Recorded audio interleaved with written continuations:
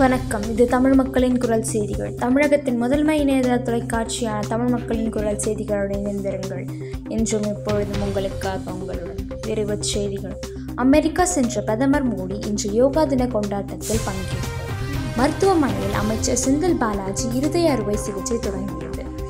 நீர்மூழ்கி கப்பல் மாயம். நாற்பது மணி நேரங்களுக்கு குறைவான ஆக்சிஜன் மட்டுமே இருப்புள்ளதால் தேடுதல் வேட்டை தீவிரம். கலப்பட மருந்து சந்தேகத்தில் எழுபத்தி ஓரு நிறுவனங்களுக்கு நோட்டீஸ் மத்திய சுகாதார மந்திரி தகவல். ரஷ்யாவின் மிற்கட்டண முறையை ஏற்றுக்கொள்ளும் கியூபா. வெப்ப அலையில் பிடியில் வட மாநிலங்கள் தவிப்பு. பீகார் உபிக்கு உதவி மைய குழு விரைவு.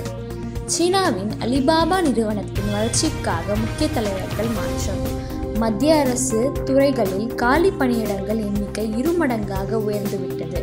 காங்கிரஸ் குற்றச்சாட்டு. நியூசிலாந்து சீனா இடையே மீண்டும் நேரடி விமான சேவை.